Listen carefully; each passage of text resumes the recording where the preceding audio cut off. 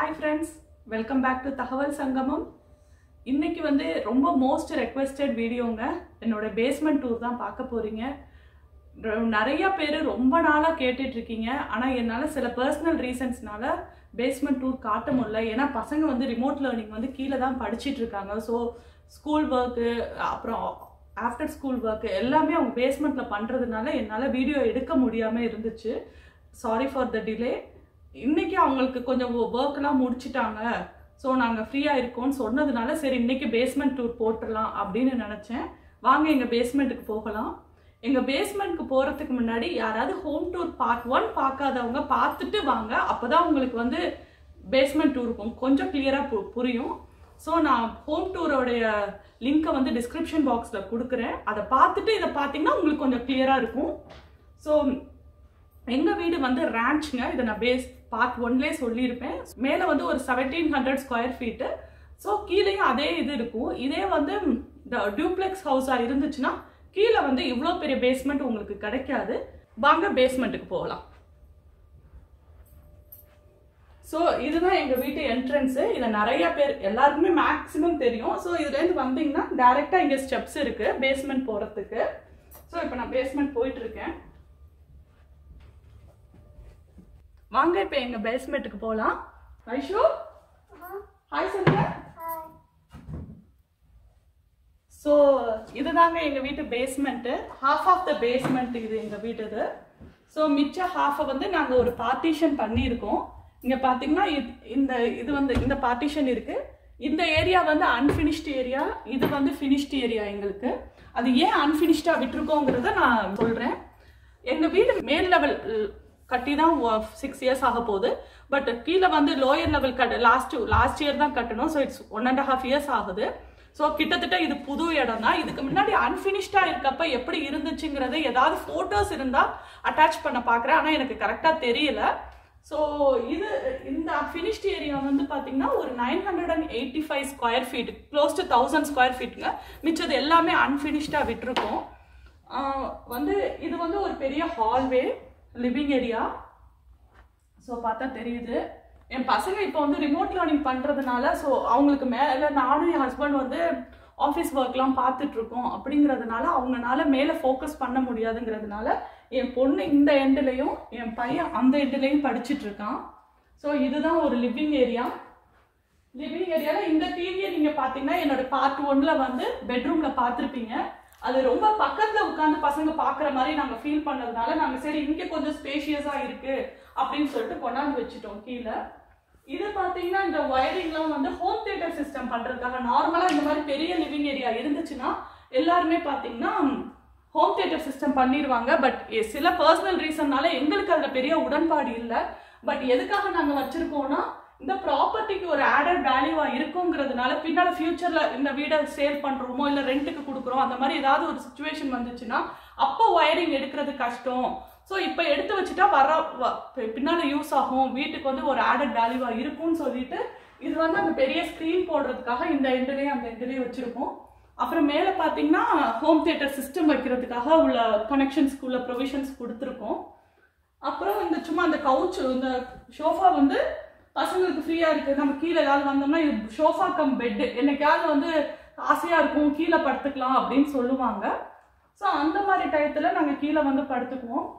இது வந்து இந்த கொரோனா கொடுத்த எங்களுக்கு கிஃப்ட்டுங்க ஏன்னா நாங்கள் வந்து இப்போ வந்து ஜிம்முக்கெலாம் போக முடியல. ஏன்னா யூஸ்வலாக என் ஹஸ்பண்ட் வந்து கரெக்டாக ஜிம்முக்கு போவார். என் பசங்களும் நிறைய எக்ஸசைஸ் பண்ணுவாங்க. நிறைய ஜிம்முக்கெலாம் என் பசங்களும் போவாங்க.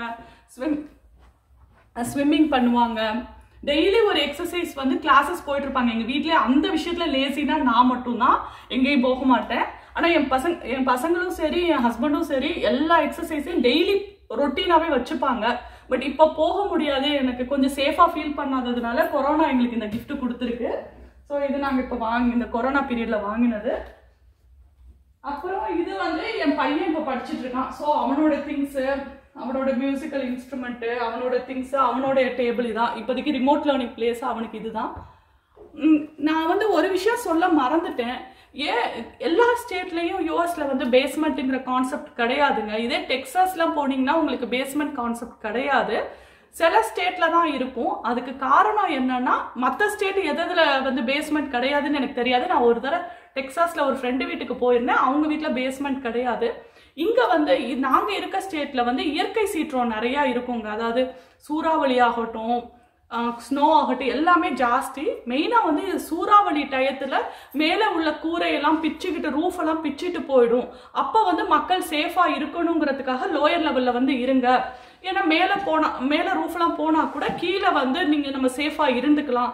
அப்படிங்கிறதுக்காக உள்ள கான்செப்ட் தான் இந்த பேஸ்மெண்ட்டுங்கிறது நான் மேக்ஸிமம் 90% பர்சன்ட் வந்து இந்த பேஸ்மெண்ட்டை ஃபினிஷ் பண்ணியிருக்க மாட்டாங்க. நாங்களுமே இது வந்து ரொம்ப பெரிய யூசேஜ் அப்படின்லாம் நாங்கள் ஃபினிஷ் பண்ணணும்னு நினைக்கல. பட் ஸ்டில் எகைன் இது வந்து ஒரு ஆடட் வேல்யூவாக இருக்கும் வீட்டுக்கு அப்படிங்கிறதுனால மட்டும்தான் நாங்கள் ஃபினிஷ் பண்ணியிருக்கோம்.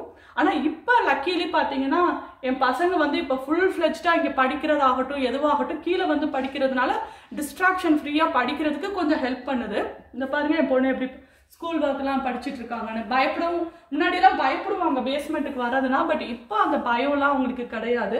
நான் வந்து என் என் ஹோம் டூர் பார்ட் ஒன்லேயே வந்து லெவல் ஒன்ல இருக்கையில நான் உங்களுக்கு ஒரு முக்கியமான விஷயம் சொல்லணும்னு நினச்சேன்.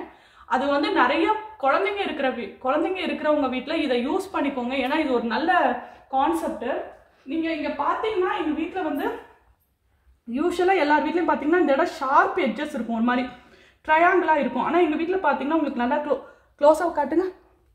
நல்லா தெரியுதான்னு தெரில மோல்டாக இருக்கும்.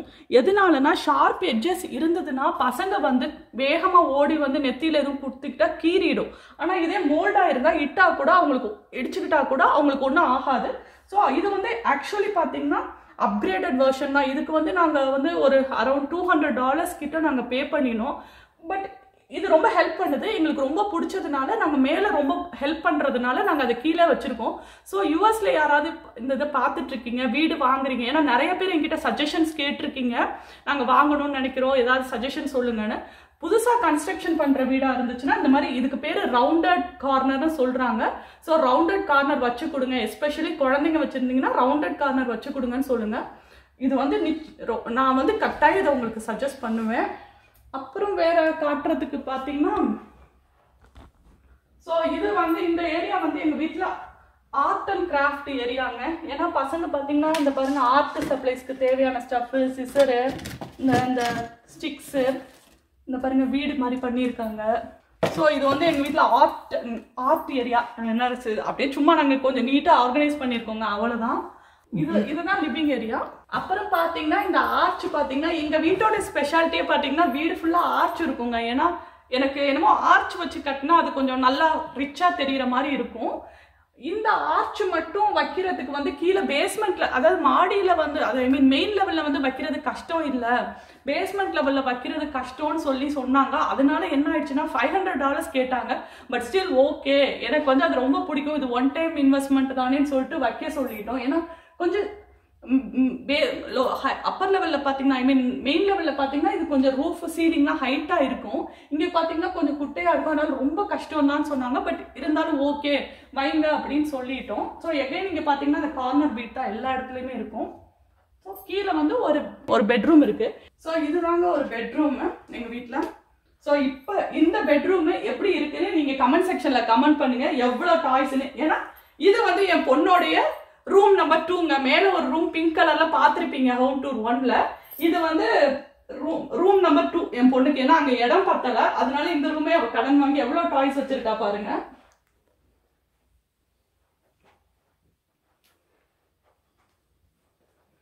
இது விளையாடுறாலோ இல்லையோ ஒவ்வொரு நாளும் டெய்லி வந்து ஒரு ஃபைவ் மினிட்ஸ் ஆறு இந்த ரூம்ல வந்து உட்காந்து இந்த டாய்ஸ் எல்லாம் அடுக்கி வச்சு அதை ஒரு சந்தோஷப்பட்டுப்பா அதனால தான் எங்களால இதெல்லாம் கொடுக்க சின்ன பெரிய பொண்ணு ஆயிட்டா பட் ஸ்டில் வந்து அதெல்லாம் கொடுக்கறதுக்கு எங்களுக்கு மனசு இல்லாம வச்சுட்டு இருக்கோம் ஏன்னா இந்த இந்த இதெல்லாம் பாத்தீங்கன்னா கிட்டத்தட்ட சிக்ஸ் இயர்ஸ் அப்படி ரொம்ப நாளைக்கு முன்னாடி வாங்கினதுங்க. ஒரு அவ செகண்ட் பர்த்டேக்கு ஒரு கொடுத்துருந்தாங்க ஒரு மினி மினி மவுஸ் அது கூட எங்க வீட்டுல பத்திரமா இருக்கும். ஐ மீன் அது இதுதான் நினைக்கிறேன். இந்த மினி மவுஸ் தான் நினைக்கிறேன். ஒருத்தவங்க செகண்ட் பர்த்டேக்கு என் பொண்ணு கொடுத்தாங்க. இப்போ அவளுக்கு நைன்த் பர்த்டே ஆக போகுது பார்த்தீங்கன்னா ஒரு சின்ன அழுக்கு கூட இருக்காது. அவ்வளோ நீட்டாக வச்சுப்பா. ஸோ அதனால சரி எதுக்கு இதெல்லாம் கொடுக்கணும் அப்படின்னு சொல்லிட்டு நாங்க அப்படியே விட்டுட்டோம். அப்புறம் இந்த இடம் பாத்தீங்கன்னா இங்க பாத்தீங்கன்னா இது வந்து பா இங்க இருந்து பாத்தீங்கன்னா ஒரு லேடர் தெரியும். இதையும் நான் ஒரு வீடியோல ஆல்ரெடி காட்டியிருப்பேன். இது எதுக்காகனா நமக்கு வந்து ஏதோ வீட்டுக்குள்ள நம்ம கீழே பேஸ்மெண்ட்ல இருக்கையில் ஃபயர் வந்துருச்சோ ஏதோ நேஷனல் நேச்சுரல் டிசாஸ்டர் வந்துருச்சு மேல மாடி படி வழியா மேல போயிட்டு வெளியில போக முடியாத சுச்சுவேஷன் வந்துச்சுன்னா இந்த விண்டோஸ் இதுல வந்து ஒன்றும் பெருசா இல்லைங்க ஸோ இந்த விண்டோஸ் வழியா வெளியில போயிட்டு அதுல எஸ்கேப் ஆகிக்கலாம் அப்படிங்கிறதுனால அதுக்கு பேரே வந்து எஸ்கேப் லேடர் அப்படின்னு தான் சொல்லுவாங்க. ஸோ இந்த விண்டோ வழியா இறங்கிக்கலாம் அப்படின்னு சொல்லிட்டு.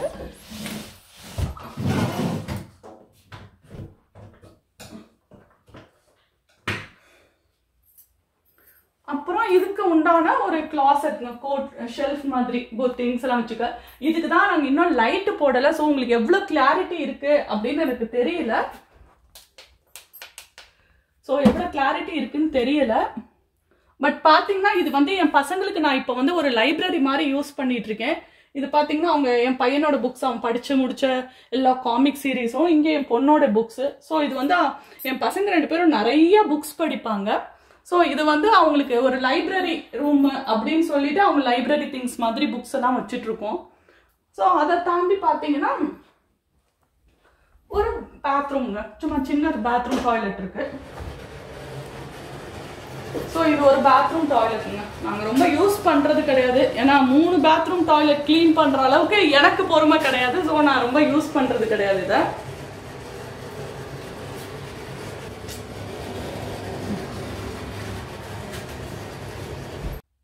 ஸோ இதுதாங்க கன்ஸ்ட்ரக்டட் ஏரியா இதே டூப்ளெக்ஸ் வீடுன்னு பார்த்தீங்கன்னா உங்களுக்கு வந்து மினிமம் வந்து ஒரு ரெண்டாயிரத்தி ஐநூறு ஸ்கொயர் ஃபீட் அப்படிதான் கட்ட முடியும். பட் ஸ்டில் வந்து ஃபர்ஸ்ட் லெவலில் வந்து ஒரு ஆயிரம் செகண்ட் லெவலில் ஆயிரங்கிறதுனால கீழே பேஸ்மெண்ட் வந்து உங்களுக்கு ஆயிரம் தான் வரும். ஸோ பேஸ்மெண்ட் இவ்வளோ பெருசு வராதுங்க. எங்கள் வீடு ஒரே லெவல்ங்கிறதுனால தான் எங்கள் வீட்டுக்கு கீழே பேஸ்மெண்ட் இவ்வளோ இவ்வளோ பெருசு இருக்கு. ஸோ வாங்க அன்கன்ஸ்ட்ரக்டட் ஏரியாவே நான் உங்களுக்கு காட்டிடுறேன். ஸோ அன்கன்ஸ்ட்ரக்டட் ஏரியா அந்த சைடு போகிறதுக்கு முன்னாடி இந்த இந்த கன்ஸ்ட்ரக்ஷன்ஸ்க்கு வந்து தேவையான மெட்டீரியல் எல்லாம் நாங்களே வாங்கி கொடுத்தோம். ஏன்னா நாங்கள் யார்கிட்டையும் கான்ட்ராக்டிங் பில்டர்ஸ் கிட்ட கான்ட்ராக்டிங் அந்த மாதிரி விடலை. ஏன்னா பில்டர்ஸ்கிட்ட கான்ட்ராக்டிங் போனீங்கன்னா வந்து ரொம்ப காஸ்ட்லி அவங்கிறதுனால ப்ரைவேட்டாக வச்சுருப்பாங்க இல்லையா? அவங்க மூலமாக தான் நாங்கள் போனதுனால மெட்டி இப்போ இதே பில்டர் கிட்ட விட்டோம்னா ஒன்ஸ் கான்ட்ராக்டிங் விட்டுட்டா அவங்களே திங்ஸ் எல்லாம் வாங்கிட்டு வந்து எல்லாமே பண்ணிடுவாங்க. எப்படி நம்ம ஊரில் பண்ணுற மாதிரியே தான். பட் வந்து இது நாங்களே பண்ணிக்கலாம். ஐ மீன் நாங்கன்னா நாங்கள் பண்ணலை. நாங்கள் ஒரு ஒரு ஒரு லோக்கல் ஆள்கிட்ட ஒருத்தவங்க கிட்ட கொடுத்துருந்தோம். ஸோ அவங்க என்ன பண்ணினாங்கன்னா மெட்டீரியல் எல்லாம் நாங்கள் எங்களை பர்ச்சேஸ் பண்ணிட்டு வர சொல்லிட்டாங்க. ஸோ ஒவ்வொரு மெட்டீரியலும் நாங்கள் தான் போய் வாங்கினோம். சின்ஸ் மேலே வந்து இது வந்து கஸ்டம் பில்டிங் நாங்களே பிளான் பண்ணினதுனால எங்களுக்கு தெரியும் ஓரளவு எங்கே மெட்டீரியல்ஸ் நல்லா கிடைக்கும் சீப்பாக கிடைக்கும் அப்படிங்கிறது தெரிஞ்சதுனால எங்களுக்கு அது பெரிய கஷ்டமாக இல்லை. ஏன்னா அங்கேருந்து கொண்டு வர்றது மட்டும்தான் கஷ்டமாக இருந்தது. மற்றபடி எங்களுக்கு ஓகே தான். ஸோ எல்லாம் நிறைய பேர் கேட்குறது வந்து இந்த காஸ்ட் ஆஃப் த பில்டிங் வந்து எவ்வளோ ஆச்சுன்னு கேட்டாங்க. உங்களுக்கு மேலே மெயின் லெவலுக்கும் கீழே உள்ளதுக்கும் வந்து காஸ்ட் டிஃப்ரென்ஸ் ரொம்ப டிஃப்ரென்ஸ் இருக்குங்க.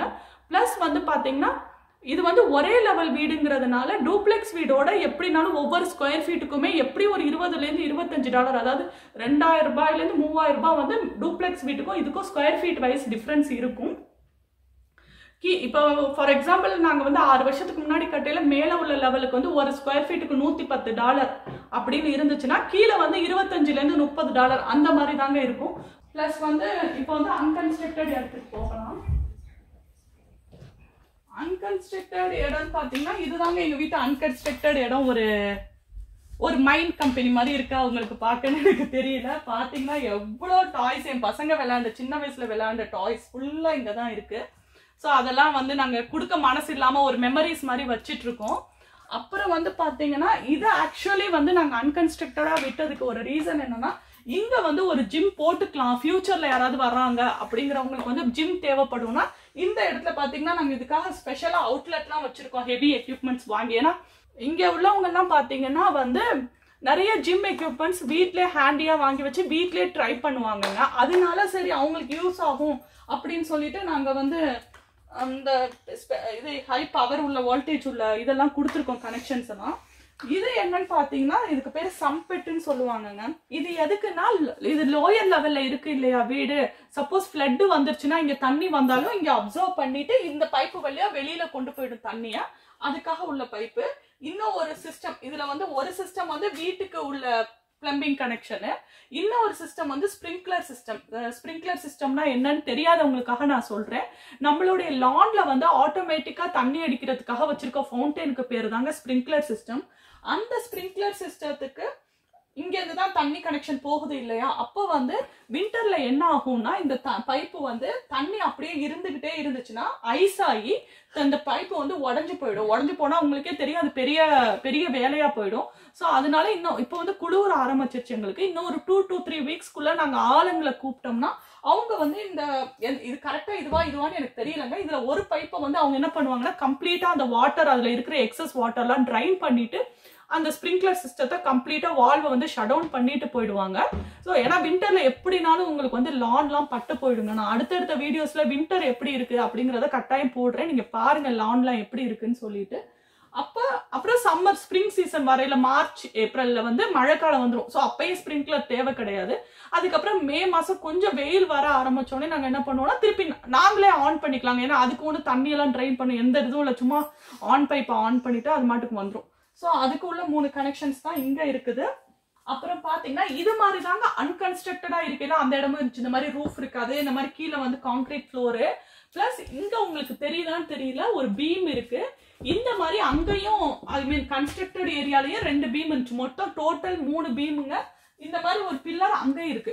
ஸோ இந்த பீமும் இந்த பில்லரும் தாங்க இந்த வீட்டோடைய மொத்த ஸ்ட்ரென்த்தையும் தாங்கிக்கிட்டு இருக்கு.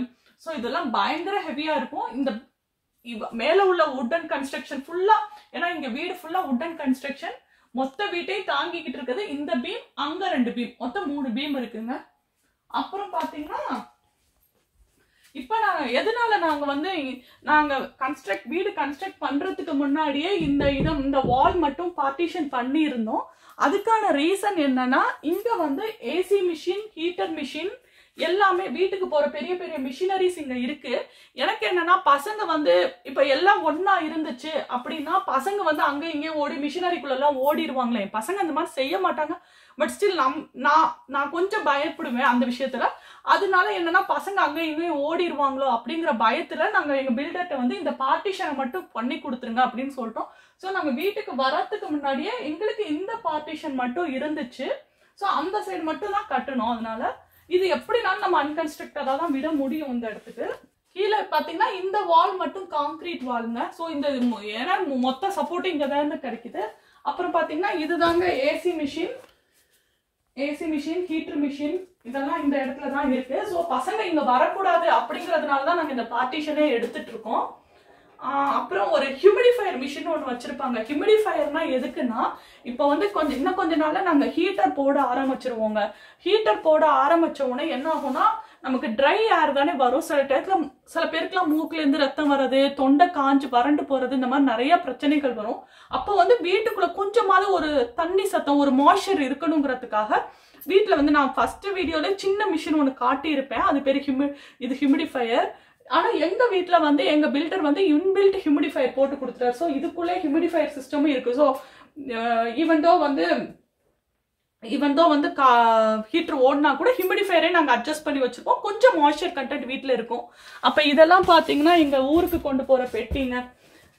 ரீசெண்டாக பார்த்தீங்கன்னா ஒரு பத் நாலு வீடியோ இது ரெண்டு வீடியோக்கு முன்னாடி எங்கள் அம்மா வீட்டு ஹோம் டூர் என் தங்கச்சி போட்டிருந்தா ஸோ இதெல்லாம் பார்க்கையில நான் ஹோம் டூர் காட்டுறதோட அதை பார்க்கையில எனக்கே ரொம்ப கஷ்டமா இருந்தது. ஏன்னா நான் எதிர்பார்க்கல என் தங்கச்சி அந்த வீடியோஸ் போட போறான்னு சொல்லிட்டு. ஸோ அதோட லிங்கை நான் கொடுக்குறேன். பாருங்க.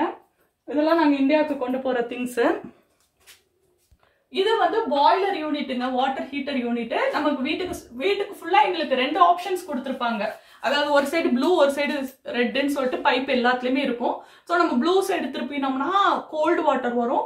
ரெட் சைடு திருப்பினோம்னா ஹாட் வாட்டர் வரும். ஸோ அது எல்லாமே இந்த இதுலேருந்து தான் நடக்குது இந்த சிஸ்டம்லேருந்து அப்புறம் இங்கெல்லாம் கொஞ்சம் எக்ஸஸ் பெயிண்ட் எல்லாம் இருந்துச்சு. இந்த பெயிண்ட்டை பார்த்து தான் நான் என்னோட பூஜை ஷெல்ஃப் நீங்கள் பார்த்துருப்பீங்க. பூஜை ஷெல்ஃப் வந்து ஒயிட் கலரில் வந்துச்சு. இங்கே எந்த கொஞ்சம் கொஞ்சம் பிச்சு போன பெயிண்ட் எல்லாம் எடுத்து தான் நாங்கள் எங்கள் வீட்டு பூஜை ஷெல்ஃப் பெயிண்ட் பண்ணியிருக்கோம். அப்புறம் பார்த்தீங்கன்னா இது வந்து ஆர்ஓ சிஸ்டம்ங்க எங்கள் வீட்டில் வந்து ஹார்ட் வாட்டராக இருந்தது இனிஷியலாக ஸோ குழந்தைங்களுக்கு முடி கொட்ட ஆரம்பிச்சத உடனே சரி ஹார்ட் வாட்டராக இருக்கேன்னு சொல்லிட்டு வந்த உடனே நாங்க செஞ்ச விஷயமே இந்த வாட்டர் சாஃப்ட்னர் சிஸ்டம் தாங்க. ப்ளஸ் வந்து ஆர்ஓ சிஸ்டம் இது ரெண்டுக்கும் உள்ளான மிஷின்ஸ் தான் இது. அப்புறம் பார்த்தீங்கன்னா இதெல்லாம் இதெல்லாம் இனி- கூடிய சீக்கிரம் நீங்கள் என்னுடைய நவராத்திரி இதில் இந்த பாக்ஸஸ்லாம் பார்ப்பீங்க அது என்னங்கிறத நான் நவராத்திரி வீடியோவில் காட்டுறேன். அப்புறம் இது வந்து இன்டர்நெட்டுக்கு உண்டான தேவைகள்ங்க. மோடமு ரவுட்டரு என்னடா இது இங்க ஃபோன் வச்சிருக்கேன்னா இங்க வந்து பேசுவீங்களான்னு யாரும் தப்பா நினைச்சிடாதீங்க. ஏன்னா இது இந்த சிஸ்டம் பாத்தீங்கன்னா இது பேர் வானேஜ்னு வாய்ஸ் ஓவர் இன்டர்நெட் ஃபோனுங்க இது பேரு. இது என்னன்னா மோடம்ல இருந்து ஒரு ஃபோன் கட்டாயி இங்க வச்சாகணும் அந்த கனெக்ஷனுக்காக அதுக்காக இங்க வச்சிருக்கோம். யூஎஸ்ல பாத்தீங்கன்னா எலக்ட்ரானிக்ஸ் வந்து கொஞ்சம் சீப்பா இருக்குங்க. நீங்க வந்து ஒரு ஃபோன் வாங்கினா அறுபது டாலர் மூணு ஃபோன் வாங்கினா எழுபது டாலர்னாங்க ஸோ நமக்கு பத்து டாலர் கூட ஆனால் மூணு ஃபோன் கிடைக்குதுன்னு சொல்லிட்டு ஒரு ஃபோன் எப்படினாலும் இங்கே கனெக்டடாக இருக்கணும். ஏன்னா இந்த ஒயரிங்லாம் பார்த்தீங்கன்னா நிறையா இருக்கா? மேலே மேல் லெவலில் வச்சுன்னா பசங்க ஃப்ரீக்வெண்ட்டாக ஓடையில் இறடி விட்டுருவாங்களோன்னு சொல்லிட்டு நான் இங்கே கொண்டாந்து வச்சுருக்கேன். அதனால இங்கே ஒரு ஃபோன் இது யூஸ் பண்ணுறது இல்லை சும்மா இங்கே வைக்கணும். செட்டப்காக உள்ள ஃபோனு மற்ற ரெண்டு ஃபோன் மாடியில் வச்சுருக்கோம். ஸோ இப்போ புரிஞ்சிருக்கும்னு நினைக்கிறீங்க நினைக்கிறேன் உங்களுக்கு. ஏன் நான் இந்த இடம் இந்த ஏரியாவை நாங்கள் வந்து அன்பினிஷ்டாக விட்டுருக்கோங்கிறது உங்களுக்கு இப்போ புரிஞ்சிருக்கும். ஸோ இவ்வளோதாங்க எங்க இது. என்னடா இது? நான் வந்துங்க வீடியோவுக்காக எந்த ஒரு அரேஞ்ச்மெண்ட்ஸும் நான் வீட்டில் பண்ணலை. எங்கள் வீடு எப்படி எப்போதும் இருக்குமோ அப்படியே இருக்குங்க. நான் வந்து அது நான் என்னடா இது இவ்வளோ குப்பையாக வச்சுருக்காங்களே நினைக்காதீங்க. இதை எப்படி ஆர்கனைஸ் பண்ணுறதுன்னு எனக்கு தெரியல. உங்கள் யாருக்காவது ஐடியா இருந்தால் கமெண்ட் செக்ஷனில் கமெண்ட் பண்ணுங்கள் ஏன்னா இந்த ரூமை நான் எவ்வளோ ஆர்கனைஸ் பண்ணணும்னு ட்ரை பண்ணாலும் திருப்பி இப்படி தான் ஆயிடுதுப்பா ஏதாவது திங்ஸ் வாங்குறோம் அட்டை பாக்ஸை கொண்டாந்து இங்கே ஸ்டோர் பண்ணுறோம் இந்த மாதிரி ஆயிடுது.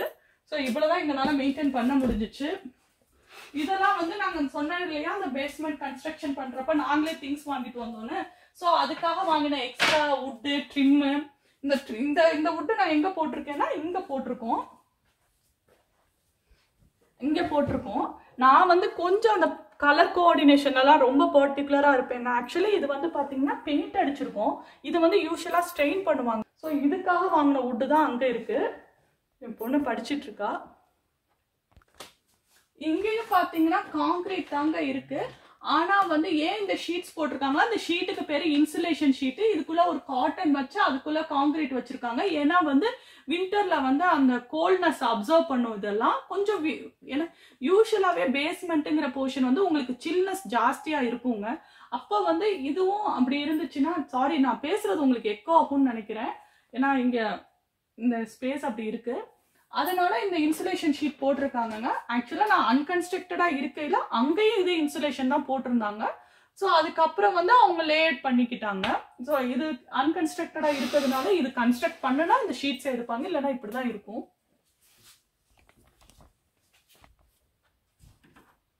ஸோ இவ்வளோதாங்க எங்களோட பேஸ்மெண்ட்டு நிறைய பேர் கேட்டீங்க. ஸோ நீங்கள் எக்ஸ்பெக்ட் பண்ண அளவுக்கு இருந்துச்சான்னு எனக்கு தெரியல. ஸோ எங்கள் வீட்டு பேஸ்மெண்ட் டூர் பார்த்துருப்பீங்க. உங்களுக்கெல்லாம் பிடிச்சிருக்கும்னு நினைக்கிறேன். இந்த வீடியோ பிடிச்சிருந்தா லைக் பண்ணுங்க ஷேர் பண்ணுங்க மறந்துடாம சப்ஸ்கிரைப் பண்ணுங்க. வேற என்னென்ன வீடியோஸ் பண்ணலாங்கிறத கமெண்ட் செக்ஷன்ல கமெண்ட் பண்ணுங்க. அது எங்களுக்கு ஃபியூச்சர் வீடியோஸ்க்கு ரொம்ப ஹெல்ப்ஃபுல்லா இருக்கும். Thank you so much bye bye